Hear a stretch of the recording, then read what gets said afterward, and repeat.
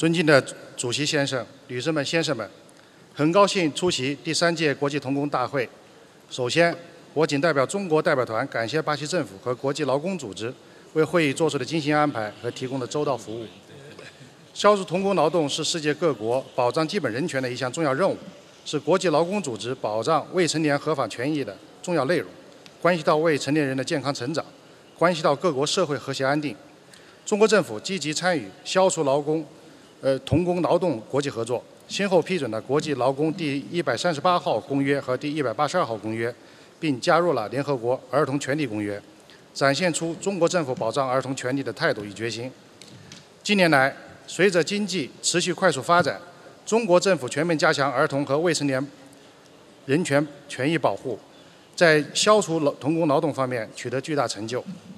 一是积极立法普法，强化消除童工劳动的法律基础和守法意识；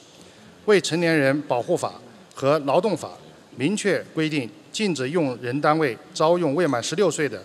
未成年人；禁止使用童工规定，进一步明确了禁止任何单位和个人为不满十六岁的成年人介绍就业，禁止未成年人开展从事经营活动，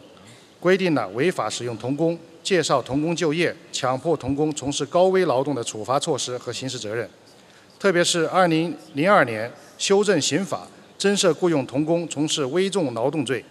规定对违法者最高可判处七年有期徒刑。为提高全社会禁止使用童工、保护未成年人合法权益的法律意识，中国政府与社会伙伴一起，通过制作、发送宣传手册、举办法制讲座等多种形式。广泛开展普法宣传活动，取得良好效果。二是积极减贫扶贫，制定实施消除童工劳动行动计划。中国政府不断加大对贫困地区的扶贫开发力度，促进贫困地区经济社会发展，为从根本上消除童工劳动奠定了经济基础。同时，制定实施了自2020年的《中国儿童发展纲要》，确立了依法保护儿童合法权益、禁止使用童工和对儿童的经济剥削等主要目标。明确了严厉打击使用童工的违法行为，完善儿童法律援助和司法救助机制等策略措施。三是加强劳动监察立法及执法。一九九四年劳动法设立监督检查专章。二零零四年，中国政府颁布了《劳动保障监察条例》，明确劳动监察机构职责和执法程序，将用人单位禁止使用童工的规定情况作为监察事项。从2009年起，全国推行劳动监察网格化、网络化管理，实现对用人单位用工情况的全面动态监监控和分类监管，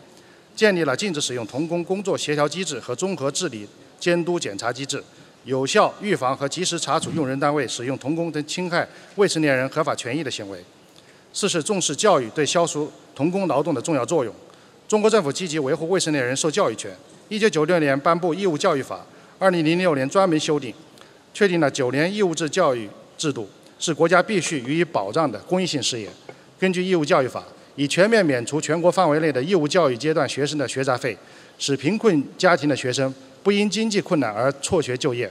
过去两年，中国初中阶段毛入学率达到百分之百。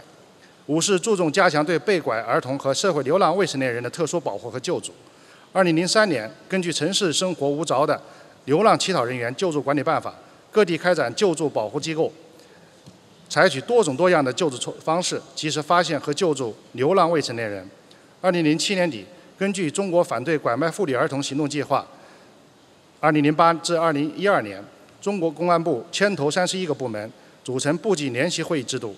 建立了集预防、打击、救助和康复为一体的防拐工作长效机制。同时，积极开展加强打击人口拐卖国际合作，参加了湄公河次域区域合作打击拐卖人口犯罪项目，加强各方之间犯罪信息交流、受害人遣返、犯罪嫌疑人移交等方面的合作。主席先生，中国政府与社会伙伴在消除童工劳动方面取得了很大成绩，但中国是最大的发展中国家，总体发展水平仍较低，是区地区发展不平衡，少数用人单位还存在。劳动用工行为不规范、使用童工问题，为进一步消除童工劳动，中国政府将继续认真履行国际公约义务，积极消除童工劳动，保护未成年人权益。中方愿与各国三方一道，携手应对劳动世界的挑战。我建议：第一，加强未成年人权益保护的立法和普法宣传工作。各国应进一步完善本国保护未成年人权益、消除童工劳动的相关法律法规、规章政策，加大宣传力度，不断提高用人单位、未成年人及家长的法律意识，努力营造全社会关心和保护少年儿童健康成长的法治环境。第二，加大未成年人权益保护力度，继续加大劳动保障监察力度，强化监察预防功能，提高监察执法效率。积极预防和依法查处使用童工等侵害未成年人合法权益的行为，形成对使用童工违法行为的高压态势。同时，进一步落实少年儿童的受教育权等其他各项权益，促进少年儿童健康成长。第三，积极开展国际合作与交流，各国应认真履行在国际工业方面的批约国义务，进一步加强在消除童工劳动方面的多双边合作，分享。消除童工劳动的先进的国际经验，全面消除童工劳动现象。谢谢大家，Thank you。Muito obrigado. Convidamos nesse momento o senhor, o excelentíssimo senhor.